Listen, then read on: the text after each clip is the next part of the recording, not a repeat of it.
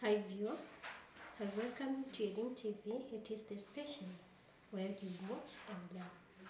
I'll be taking you through business studies from one. The topic it is the office, lesson number 24. I'm your tutor, Lucy Mudoni. Welcome. Uh, let us start by looking at the lesson goals for today's lesson.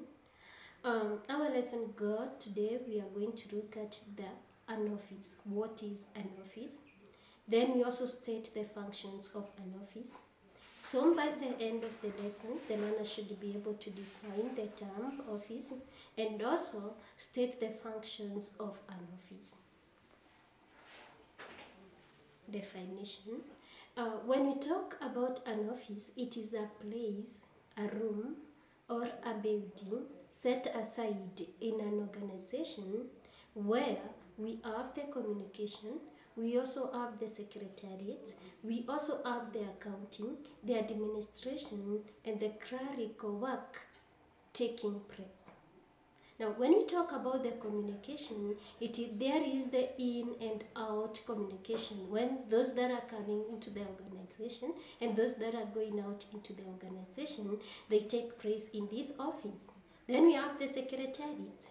Those who want to, uh, uh, uh, if at all we talk about a secretary, deals with the communication and all the other services that are provided, meeting the client first, uh, all these ones now it is done in an office. Accounting and also the administration and the clerical work takes place in an office. Let's take in a school system. You're going to get there is an office in every school system. This is where you go and get there is a secretary, there is the accountant, there is the clerks, there is also the, the staff room, and also it is the also the place where you go and get the principals. Um, let's go to the functions of an office. Now, when we talk about the functions of an office, one of them it is receiving and recording information. Now, when we talk about receiving information, it is this information that comes out of the business to the business or to the organization. All these ones now they must report to the secretary and they must be recorded uh, and then the information it is stored. And this is done in the office, either through the letters, through the phone calls, through the emails, through the fax, or this one it is done in an office. Now, number two, we talk about the distribution of the information. This is both the uh, horizontal and then diagonal uh, distribution of the information.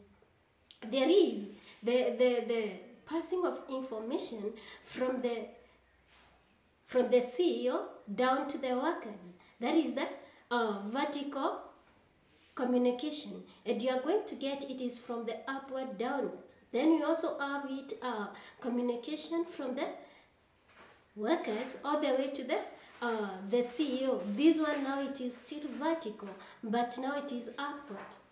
And in this case now you get all this information passes through in an office.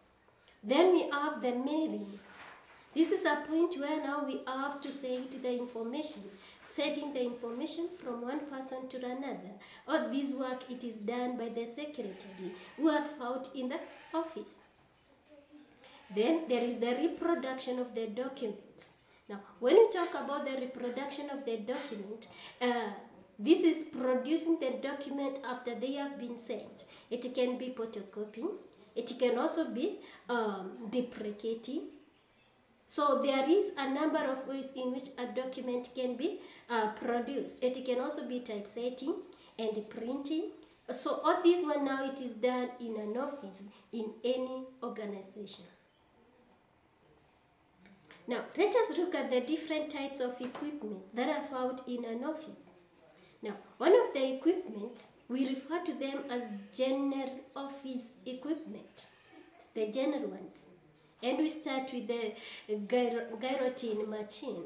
And this one now it is used for trimming document into required shapes and sizes. This is for cutting papers. When we talk about the, the, this machine, it is for cutting. We use it to cut the document. If at all you want a, a passport, you're going to get that. Uh, you're going to print it in normal size um, printing papers. Then we get the shape using the the trimming document um, machine. So in that case now that is one of the general office equipment. Number two, we have the paper punch. Now before storing the documents, before storing any documents, you need to get odds.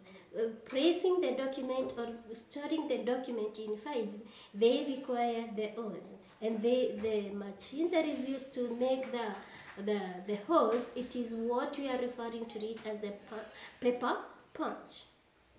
It is used to make hose that facilitate in filing.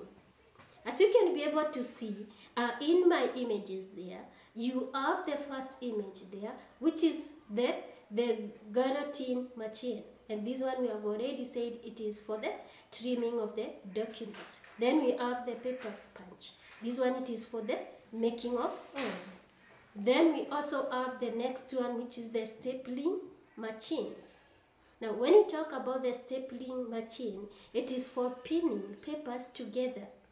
And for, the, for you to pin the papers together, you require the staples and the stapling machine, which is, which is there on the diagram. You can be able to see it in the photograph.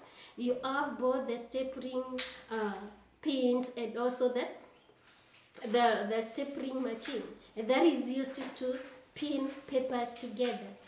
Then we have the staple remover when we talk about the staple remover, uh, this one it is used to remove the pins when we have pinned them at when we have pinned papers together. So the work of the staple remover it is to remove them the pins after stapling.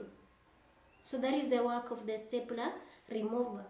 Then the activity for today define an office. Then you are supposed to explain four functions of an office.